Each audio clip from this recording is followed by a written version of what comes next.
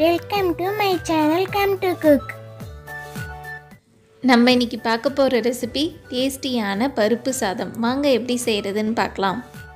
இதற்கு ஒரு டம்ளர் புழுங்கல் அரிசி எடுத்திருக்கேன். அரிசியை நல்லா கழுவிட்டு ஒரு அரை மணி நேரத்துக்கு ஊற வச்சுக்கோங்க. அரிசி எடுத்த டம்ளர் அளவுக்கு முக்கால் டம்ளர் அளவு துவரம்பருப்பு எடுத்து வச்சுருக்கேன்.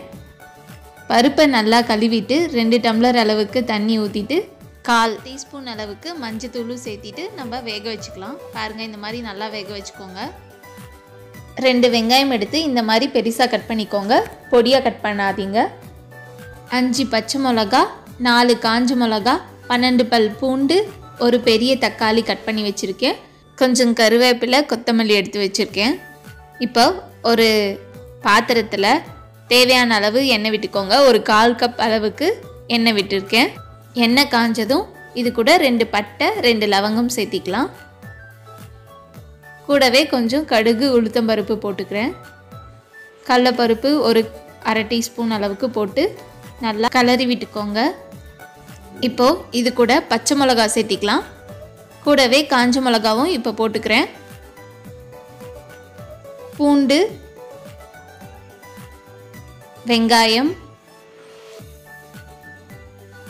போட்டு எல்லாத்தையும் நல்லா கலந்து விட்டுக்கோங்க.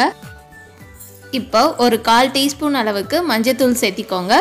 சேர்த்தி நல்லா கலந்து விட்டுக்கோங்க.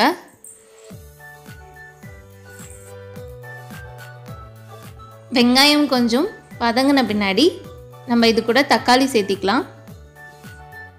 கருவேப்பிலையும் கொத்தமல்லியும் சேர்த்தி போட்டுக்கிறேன். போட்டுட்டு நல்லா கலந்து விட்டுக்கோங்க.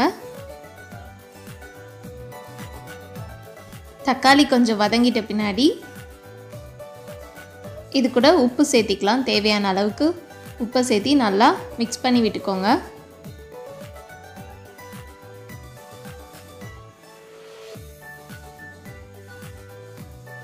இப்போது மூணு டம்ளர் அளவுக்கு நம்ம இது கூட தண்ணி சேர்த்திக்கலாம். சேர்த்திட்டு நல்லா மிக்ஸ் பண்ணிவிட்டு மூடி வச்சுருங்க. நல்லா கொதிக்கட்டும் தண்ணி. பாருங்கள் இப்போ திறந்து பார்த்தா நல்லா கொதிக்குது. இப்போது ஊற வச்ச அரிசி எடுத்து இதில் போட்டுக்கலாம். போட்டு நல்லா கலந்து விட்டுக்கோங்க. இப்போ கொதிக்கிற நேரத்தில் நம்ம தட்டை போட்டு மூடி வச்சிடலாம். இப்போது திறந்து பார்த்து கலரி விட்டுக்கலாம். அப்பப்போ இந்த மாதிரி திறந்து பார்த்து கலரி விட்டுக்கோங்க. இல்லைன்னா அடி பிடிச்சிடும். இப்போ திருப்பியும் நம்ம இதை மூடி வச்சிடலாம். கொஞ்ச நேரம் ஆக ஆக நல்லா தண்ணி ட்ரை ஆகும். ஃப்ளேமை ஸ்லோ பண்ணி வச்சுக்கோங்க. இப்போ அரிசி வந்து முக்கால் பாகம் வெந்துட்ட பின்னாடி வேக வச்ச பருப்பு எடுத்து நம்ம இதுக்குள்ளே சேர்த்திக்கலாம். நல்லா கலந்து விட்டுக்கோங்க. பருப்பு நல்லா வேக வச்சு இதில் சேர்த்திக்கோங்க. ஒருவேளை பருப்பு உங்களுக்கு வேகலைன்னா பாதி அரிசி வெந்த பின்னாடியே சேர்த்திக்கோங்க. இப்போது தட்டை போட்டு மூடி வச்சிடலாம்.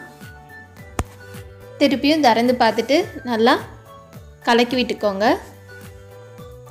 இந்த மாதிரி ஃபைவ் மினிட்ஸ் ஒன்ஸ் இந்த மாதிரி திறந்து பார்த்து கலந்து விட்டுட்டே இருங்க. இல்லைன்னா அடி பிடிச்சிடும்.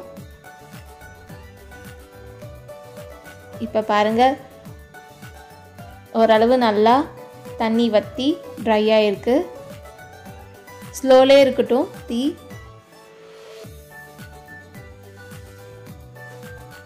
இப்போ திருப்பியும் போட்டு நம்ம மூடி வச்சிடலாம்.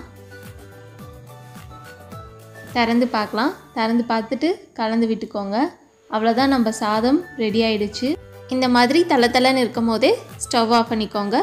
சாதம் ஆறிடுச்சுன்னா கெட்டியாயிடும். ஸோ இந்த ஸ்டேஜ்லேயே ஸ்டவ் ஆஃப் பண்ணிக்கோங்க. நம்மளோட டேஸ்டியான பருப்பு சாதம் ரெடி இந்த வீடியோ உங்களுக்கு பிடிச்சிருந்தா லைக் பண்ணுங்கள் ஷேர் பண்ணுங்கள் கமெண்ட் பண்ணுங்கள் மறக்காமல் சப்ஸ்கிரைப் பண்ணுங்கள் பக்கத்தில் இருக்க பெல் பட்டனையும் அமைக்கிக்கோங்க.